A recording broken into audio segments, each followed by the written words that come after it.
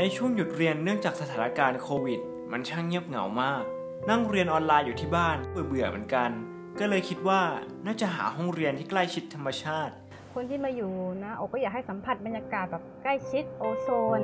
ธรรมชาติเนี่ยมันล้อมรอบเราเนี่ยการสร้างบ้าน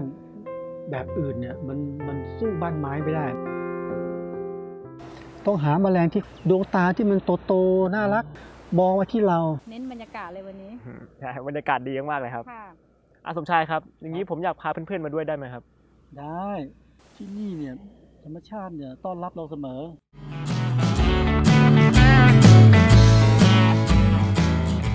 ตอนนี้เรามาอยู่ที่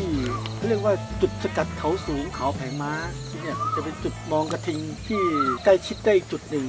อะแล้วน้องทิวเคยเห็นกระทิงไหมเคยครับเออ ที่ไหนอะ กระทิงแดงครับ อ๋อเหรอ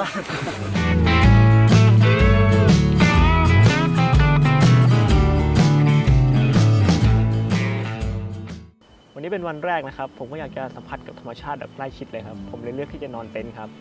ก็ขอตัวนอนก่อนนะครับกุด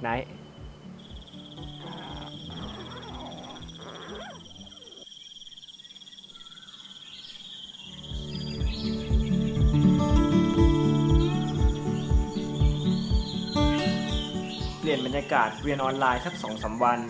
แล้วก็ถือโอกาสเที่ยวแบบ New Normal ไปด้วย จะไปไหนดี ไปใกล้ๆแถววังน้ำเขียวดีกว่า เอ๊ะ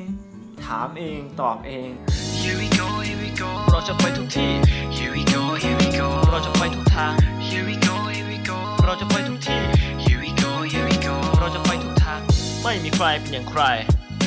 เลือกได้เลยแล้วแต่คุณ ทุกทุกวันที่โลกมันหมุนทุก คนและคุณต่างเป็นนักเดินทาง